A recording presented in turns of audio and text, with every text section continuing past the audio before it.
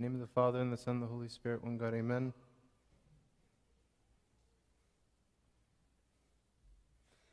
The church had a choice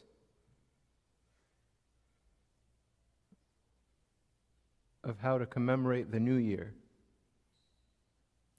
And of all the options that it could have chosen from, the church chose to focus on the reign of the Emperor Diocletian, a hard hearted man who sanctioned throughout all of the Roman Empire the slaughter of Christians. One of the most hard hit regions of this slaughter was our home country in Egypt and the surrounding areas. And so the church chose to focus on this time and this moment to bring in a new year. And so every new year of the church, September 11th or the 1st of Tut, we gather together and we all, as you saw, do a procession with all the martyrs and the icons of the church. And so it gives us a moment and a chance to think about the martyrs, our heroes, and their courage and their sacrifice. And uh, Taban, it's interesting to compare them to us now, sort of like a standard like a basketball player that puts like a poster of Michael Jordan on his wall. Like we look up to them in the sense that we want to attain their blessedness, their courage, their self sacrifice, their love for Christ. And they become then an inspiration for us in how we're supposed to live. And we talk about every year how maybe we don't have the same opportunity to shed our blood for Christ, but more and more as time goes on, we realize that it still takes great courage to stand up in the midst of all the evil and all the badness that's throughout all the world, to stand up and say, no, I'm not joining, I'm not part of that, that's not mine. I've been speaking about it for like the past two weeks. It reminds me of a passage from the epistle of St. Peter. He says, For we have spent enough of our past lifetime in doing the will of the Gentiles, when we walked in lewdness, lust, drunkenness, revelries, drinking parties, and abominable idolatries and then what he says is what I always think about, what I always remember. In regard to these, they think it strange that you do not run with them in the same flood of dissipation, speaking evil of you. So even before, like as years go by, we always say, it used to be not like this. America was so different before. Or the world was so much better before. And then now we look at it and we say, oh, back then it was so much better. And then in 50 years, they'll look back on our time and say, wow, it was so much better before. Look at it now. This flood of dissipation, it's like overwhelming. And so, even in St. Peter's time, in the very early church, there was the same things, the same traps, the same unbelief. we, thank God, have an opportunity in everything that's new the new week, the new day, and especially something like today, the new year, to reassess how we deal with this flood of dissipation. Flood of dissipation means like an overwhelming amount of evil and bad. And what do we do in the face of it? And if you look to the example of the martyrs, the martyrs dealt with this flood of dissipation with kindness, with love, with courage, and following the rule of our Lord, allowing the Lord to speak through them the truth. Putting Christ as an example and leader, and letting Him speak through them when given the opportunity. And the result of them speaking in the words of our Lord did not save them from the bloodshed that they received, or the attacks that they endured, or the tortures that they lived with, but rather they were made witnesses to Christ in their suffering and were connected to our Lord because he first suffered for us. The gospel that we read today is also a great reminder of this idea of like seeing what's good and following that. The Lord gives two examples in the beginning of this gospel.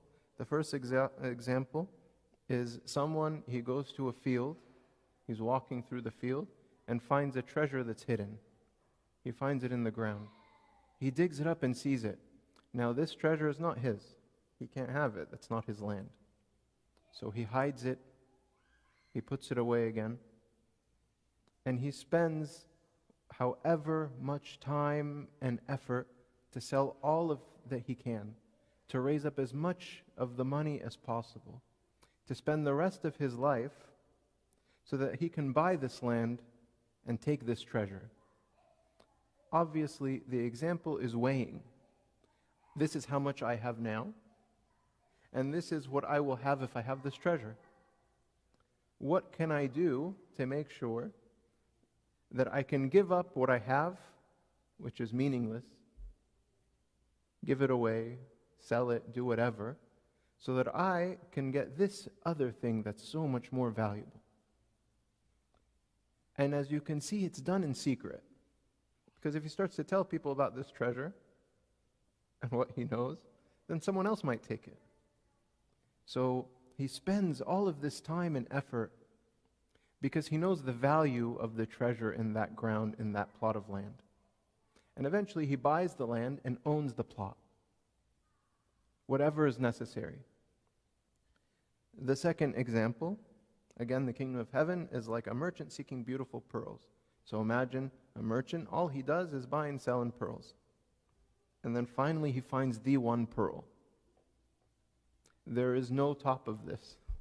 There's nothing better. There won't be any better opportunity than the opportunity that he has in front of him now. And again, what he decides to do, as the Lord says, went and sold all that he had and bought it. Give up everything that he has, take such a big financial risk because he sees the value of the pearl. And you can imagine in both of these examples, as they work hard, as they sell, as they're accumulating as much money as possible to buy this great in the first example, treasure, and in the second example, this great pearl, the value of that thing starts getting even more and more and more. They can't wait. They can't wait to taste it. They can't wait to hold it in their hand. They can't wait to have it with them. They can't wait to put it in their home. So imagine, if we understand the parable correctly, and this great treasure, and of course we understand it correctly because the Lord says the kingdom of heaven is like this. So imagine if this treasure is the kingdom of heaven, and we spend all of our time accumulating whatever we can to give it all away so that we can take this treasure. And what makes us know that this is the treasure that we should be like selling everything for? Like, what makes it that this is the thing? If you think about it, what greater love have you seen than the love of Christ, dying on the cross for our sakes, shedding his blood for you and I. Even he says it. What greater love than this, than one give up his life for his friends? What greater compassion have you seen than the compassion that our Lord had for all of the weak and sinful, like you and me? like me. Forget about you. Like me. What greater compassion have you seen than this? What human have you seen have this same compassion? What anything? What greater sacrifice have you seen? The other day, we we're at someone's house, and Abuna told someone there to read the whole Gospel of St. Mark in one sitting. And I remember thinking, and I said it actually at the time, that when we see the works of the Lord and we read it fast in one sitting, we see the sacrifice. The Lord Himself said, Foxes have holes and birds have nests, but the Son of Man has no place to rest his head. Didn't sleep, didn't have a bed. He walked up and down the coast of what is now Israel and Palestine. For our salvation. What greater love have you seen than this? What greater compassion have you seen than when he rose from the dead, the son of the widow of Nain? Or when he went into that nobleman's house, Jairus, and raised up his daughter? Or when he healed the servant of the centurion after the centurion showed his great faith. What greater compassion have you seen of anybody? So I think it's pretty sure and confirmed for us that there is no greater valuable gift than to follow him. We take then the example of the martyrs and follow him blindly, whatever it takes. The martyrs were willing to give up their own body and their blood and their families. They're terrible but inspiring stories of mothers giving up their children husbands their wives, friends their best friends. Whatever it takes for the love of the Lord. So we have an opportunity at this new year to think about this very strongly. What am I doing? Am I actually following behind something that's like the flood of disputation of this world? Am I just doing whatever it is that someone told me to do? Accumulating wealth or doing my favorite hobbies or just doing whatever pleases me of my desires. We all fall into that trap sometimes. But how about we do a shift? And we literally give up everything for the sake of the kingdom of heaven, for the sake of our salvation, because there's nothing more beautiful. There's nothing that exemplifies love as much, and there's nothing that exemplifies courage and sacrifice and love of enemies. All of this, we should drop everything else and follow. So then, when we start to live our lives in this way, we really take care to say, just like if you can imagine the person that was going to buy the field, if he went home and he was hungry, he might say, I can't eat tonight because I have to save up to buy this field, to get this treasure. Or I'll sell this bed, it's too expensive. I'll buy something, I'll sell it, and I'll sleep on the floor. I need to save up as much money as I can to buy this beautiful pearl.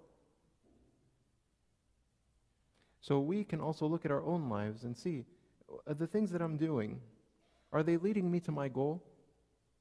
Have I been convinced that this is my goal? Is this what I want in my life? If it is, and it should be, then we'll change some of the things and the way that we speak, the way that we talk, where we go, where we come from, our anger, our jealousy, all of those things will change because we have something that valuable that we want now. So I ask you all to focus with me in these days before the Feast of the Cross. We have, what, 17, 16 days? 17. To really give ourselves over to this idea that we want this valuable pearl that's reachable, that's been granted to us. We have access to it. We'll do whatever it takes to get it and we'll stop whatever it is that's keeping us from getting it. And we'll make sacrifices and we'll do whatever needs to be done to have it. This is the way that Christians live. They live outside of the flood of dissipation. They live with this idea in mind one idea salvation. For me and my kids and my brothers and my fathers and my mothers and my family and my friends and all my brothers and sisters in Christ. And glory be to God forever.